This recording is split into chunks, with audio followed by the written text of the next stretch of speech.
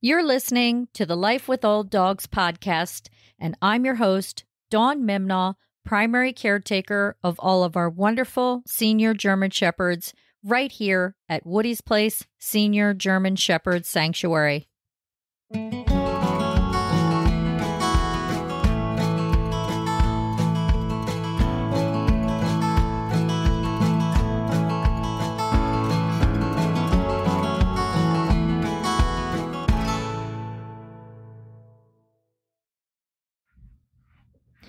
Okay, welcome back. This week we are covering perianal fistula, also known as anal furunculosis.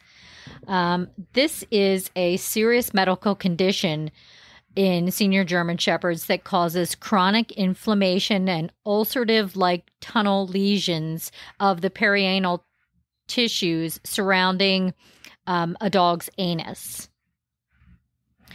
Okay, so it starts it starts as uh, it looks like tiny little holes in the dog's skin um, in the anal in the anal area, and then it evolves into um, deep tunnel-like lesions.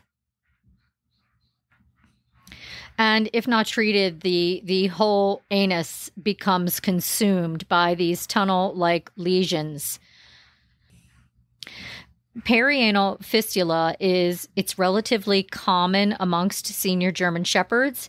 In fact, of all the diagnosed canine perianal fistula cases, a whopping 80%, folks, 80% are middle-aged and older German shepherds. That is huge. And unfortunately, most of those cases are male German shepherds. That's not to say that females can't get perianal fistula, but but a large number of the cases diagnosed are male German shepherds. Um, unfortunately, many German shepherd owners um, you know they're not aware. They're not aware of uh, what perianal fistula is and sometimes they're not even sure if their dog has it until it progresses into a very painful um, stage. Okay so let's talk about what causes perianal fistula. Uh, like some of the other illnesses, diseases that we talked about in the top 20 most common health issues in senior German Shepherds, there really is um, it, it's not it's not really understood yet what causes perianal fistula. Um, one theory is that um, our beloved German Shepherds, of course, we know they have low hanging, uh, broad based, heavy tails. Um, and that may contribute to perianal fistula because the position of the tail over the anus inhibits the ability for um, adequate airflow in the anal region. So not enough air. Okay, they're they're going potty. Unfortunately, they can't wipe their heinies, and then um, like a fecal matter film is is left. And if they have any sort of you know issues down there, um, it could become infected and all that good stuff. Um, no no air hits that area. Another possibility is the impaction or infection or rupture of the um, one or both anal sacs. As we know, or you may not know, uh, the anal sacs are on both sides of the anus. Um, so they're you know they're they're there in that main area, um, but that has not been proven to be um, a direct cause of perianal fistula either. Uh, more recent studies point to perianal fistula being an autoimmune disease, uh, like some of the other top 20 most common health issues in senior German Shepherds. Autoimmune disease seems to be a reoccurring theme in some of these health issues, and perianal fistula is no different. And also um, genetics. Uh, there seems to be a genetic role in who gets it and who doesn't get it because it has been seen in um, certain um, certain um, bloodlines uh, in German shepherds. So you know, whole families could end up with the with the disease. So if in fact you have a German shepherd with perianal fistula uh, and he or she is not spayed or neutered, you definitely don't want to breed that German shepherd. All right, let's cover the signs, signs and symptoms of perianal fistula. Um, I have to say right off the bat here, we we have not had one senior German Shepherd resident here at Woody's place with perianal fistula, thankfully. Um, there's a there's been a couple of the top 20 most common health issues in senior german shepherds that we have not experienced here yet at woody's place and diabetes was another. So um, really don't have any personal experience with perianal fistula but um, we certainly did research the signs and symptoms well, and I'm going to give them to you now. So the first would be straining to defecate, like they're having a just a real hard time trying to defecate, uh, and they also may be crying um, or invisible pain. Invisible. I didn't mean invisible like you couldn't see, but actually in pain when when they're trying to defecate because it hurts obviously they have holes and sores around their anus and then obviously they're trying to eliminate, which is not to get gross, but it's it's stretching the anus, and that you know, I mean, you could picture that that that hurts. Um, persistently licking the anal area or even biting at the anal area, uh, diarrhea and or constipation. Now, uh, along with perianal fistula, some some senior German shepherds or mid-aged German shepherds also have inflammatory bowel, bowel disease, so that could contribute to the diarrhea or constipation. Uh, the stools they may be mucousy or they may even have blood mixed in. Um, obviously, again, the anus is sore. It's you know not in in uh, optimum health, and when it expands to allow for the fecal matter to pass through, it, it certainly could add blood to the stool as it passes through. Uh, loss of appetite, unwillingness to sit. That's a big one. Who wants to sit on your hiney when it hurts? Reluctancy to wag the tail. I mean, again, if his hiney hurts, his tail's right there. He might not want to wag his tail like uh, with such exuberance like he he did before um, his hiney started to hurt.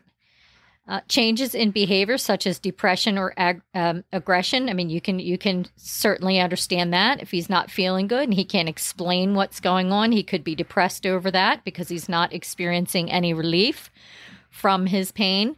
Uh, aggression could be another one. If someone you know touches his tail he might turn around and snap because that area hurts and obviously he can't verbalize that it hurts.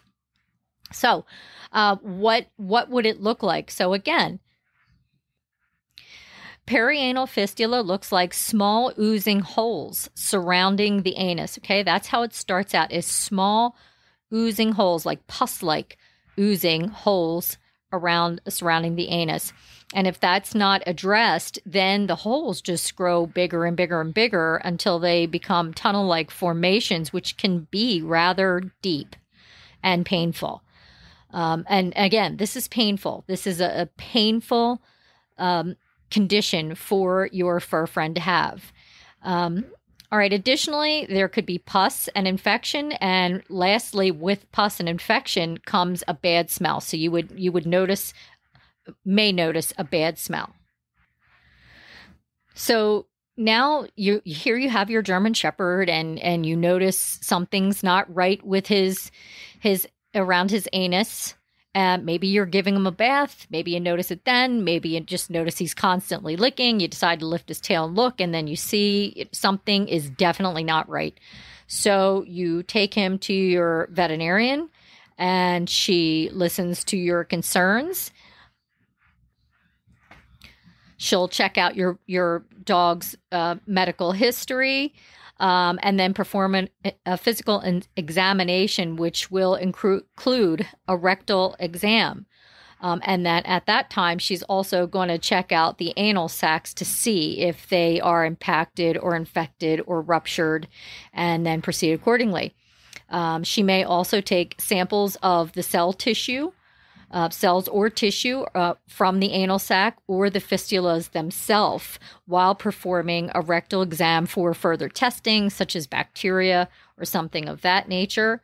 Um, and this depending on two things your your dog's temperament and how far along the um, condition has progressed she she your your dog may have to be sedated for this examination because it again is very painful for our fur friends and to uh, really assess the situation. He he may have to be uh, knocked out for that to take place because if the vet is trying to to do a thorough examination and your fur friend's so upset that he's you know not just biting, trying to bite the veterinarian, but just won't sit still, um, then then she's not going to not going to be able to give a proper diagnosis. So don't be surprised if um, you have or think your dog has perianal fistula that he or she may have to be sedated for the rectal exam. Hey there, folks. This week's episode is being sponsored by The Shepherd Shop. The Shepherd Shop sells German Shepherd and dog related merchandise, as well as our one of a kind Woody's Place merchandise, with proceeds supporting Woody's Place Senior German Shepherd Sanctuary. So, to check out the Shepherd Shop and support the sanctuary, head on over to www.wpsgss.org backslash shepherd shop. That's S H E P H E R D S H O P P E. And now, back to our episode.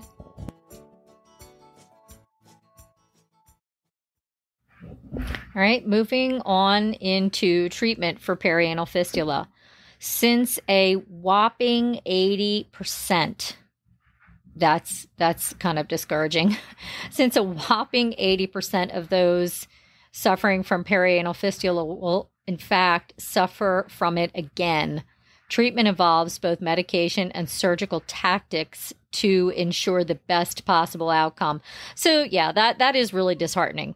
Um, we we love the breed. We love German shepherds. They're you know they're so majestic and they're such they're such beautiful and loyal creatures. I mean, who who who can't love them? I can, I can think of a few people, but I love them, and obviously you do too, or you wouldn't be tuning into this podcast. So that's really disheartening to hear that eighty percent of all cases of uh, canine perianal, perianal fistula are um, German shepherds, and then 80% of those who suffer from perianal fistula w- will suffer from it again. okay. Um, yeah, don't love that. All right. So, again, uh, both medical and surgical tactics are utilized or can be utilized. All right, let's so let's talk medication first. Um, there may be an antibiotic prescribed, such as metronidazole, and uh, that's a heavy hitting antibiotic. And you know you have to be careful with that because not only does it wipe out bad bacteria, it wipes out good bacteria as well. So if your if your fur friend is on metronidazole for whatever the reason, you definitely want to incorporate uh, pre and probiotics into their diet to help um, help their microbiome. Um, again that's a that's a heavy hitting anti- antibiotic and we have had to use it before. Um, don't love to use it but let's face it if it's if it's if it's going to be um, the solution for something that's making one of our residents really ill we will use it and adjust their diet accordingly to help uh, put the good bacteria back in their their gut um, so that their gut health is as optimum as it can be all right, the next one is cyclosporine. Cyclosporin. I still can't say that right. I said it. I said it in the last episode as well. Um, yeah, it was in the the pannus uh, Life with Old Dogs uh, blog post and podcast. I am just horrible, horrible at pronouncing medications. Cyclosporin.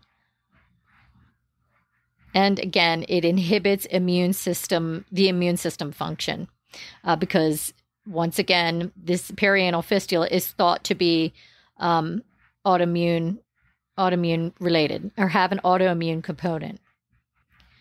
All right, another one would be ketoconazole. Ketoconazole.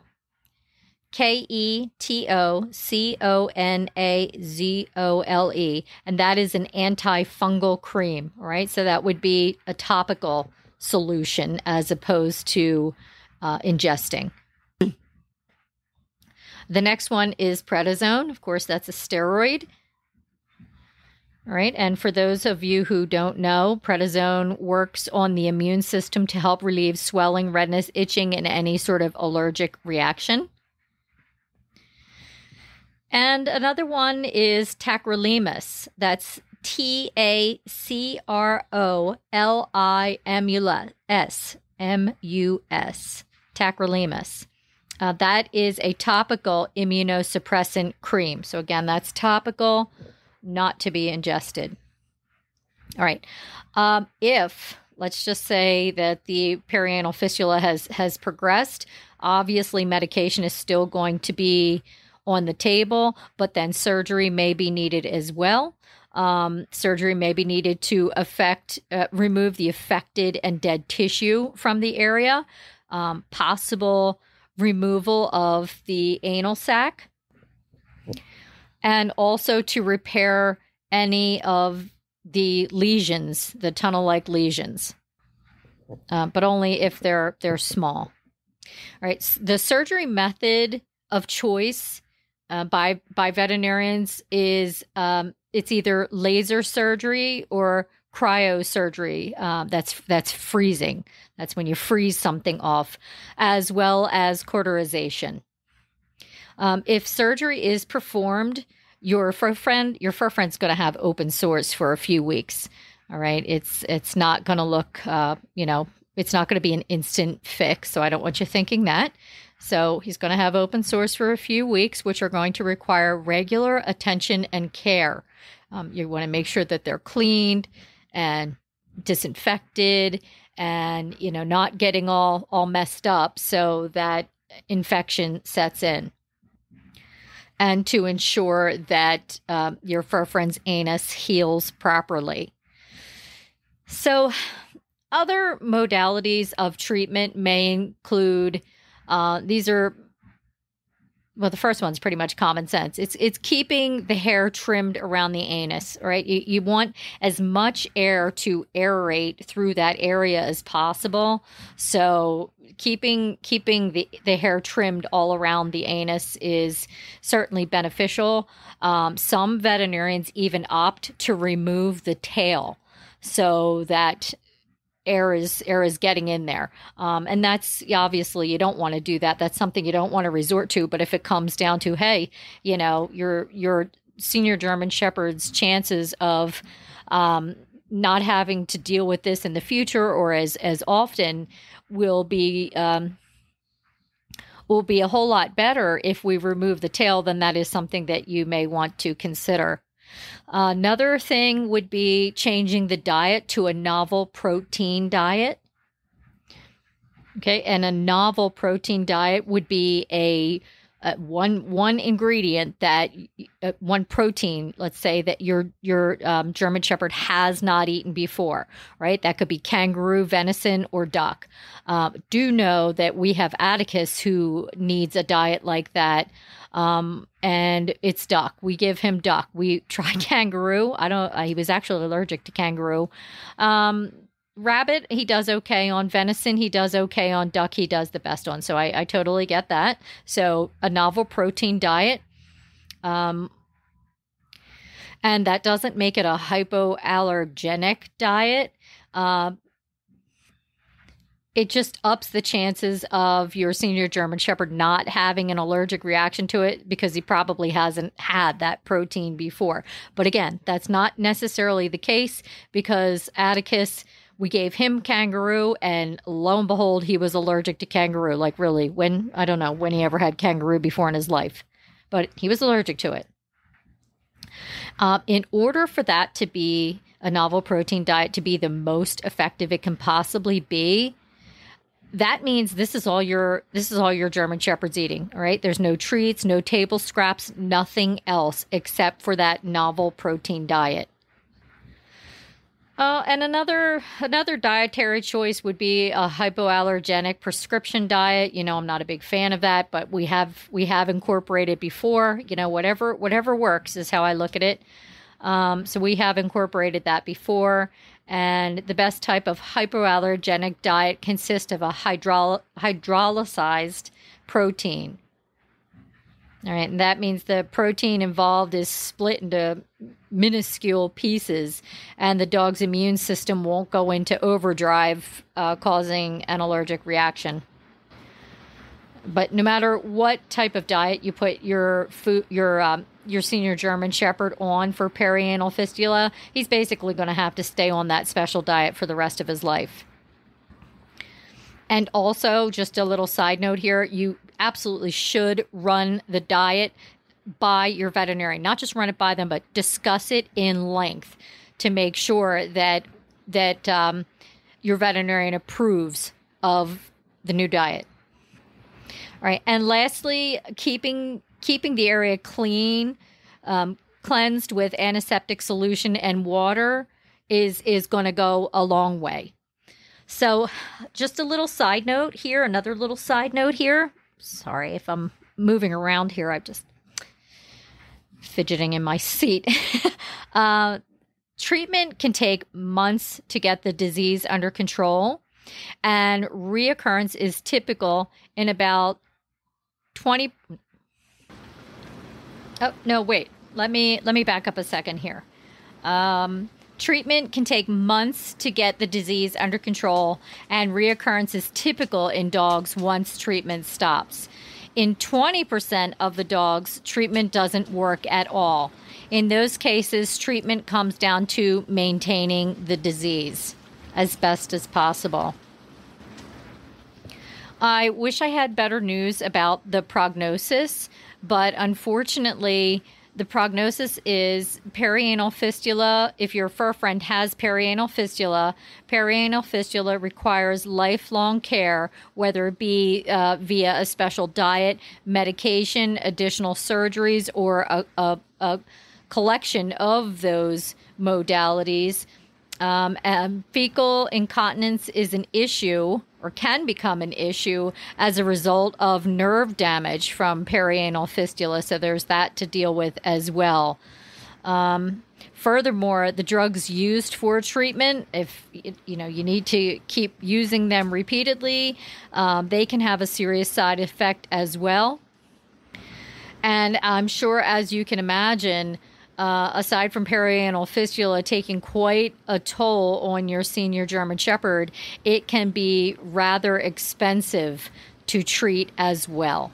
So I I wish I had better news, and you know I hear myself saying this again and again with some of these uh, top twenty health issues in senior German Shepherds, and um, believe me, it's it's been kind of depressing really delivering news like that. I don't like it because obviously I want I want happy endings for um, our senior German Shepherd residents and yours as well. But this is this is real life here, and perianal perianal fistula is not pretty.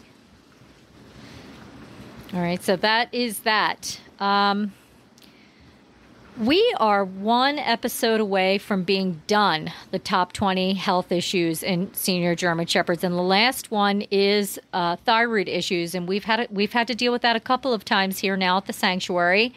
Um, and we do have we do have little Miss Savvy here with a thyroid issue that we are treating her for. So, we will discuss that in the next and final episode for the season. I have been at this, folks, the top 20 health issues in senior German Shepherds for four months now. Okay, it's been four months. So it has been an extraordinarily long season for the podcast and the blog post. And after this, I am taking a much needed break because there are other things I want to do. Um, and when I come back next season, it's either going to be in four, it's going to be four to six weeks. The next season is going to be all about degenerative myelopathy. We did kind of um, gloss over it here in the top 20 health issues, but we are going to take a deep dive into degenerative myelopathy, and we are going to have guest uh, guest speakers on talking to you about their experiences with degenerative myelopathy, uh, wheel carts, harnesses, how to utilize all of those things, and uh, how to best care for your senior German Shepherd with DM. So I'm looking forward to that, but I'm also not going to rush through my break either. So, anyway, uh, check out the blog post uh, that co- uh, that coincides with this um, with this podcast. I'll make sure I drop a link in the show notes. And if you can, please, please, please be so kind and leave us a uh, a like, a th- thumbs up, a comment, share our podcast. We would really, really appreciate it so more people can, with senior German Shepherds, can learn about the top 20 health issues. All right, folks, until next week, be well.